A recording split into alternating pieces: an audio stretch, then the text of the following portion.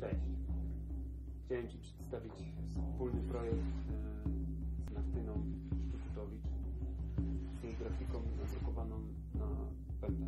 Jeleń, gdyż jest mi bardzo bliski, aby uczcić jego postać, jego łagodność, jego moc, z tyłu przeszłość, teraźniejszość i przyszłość.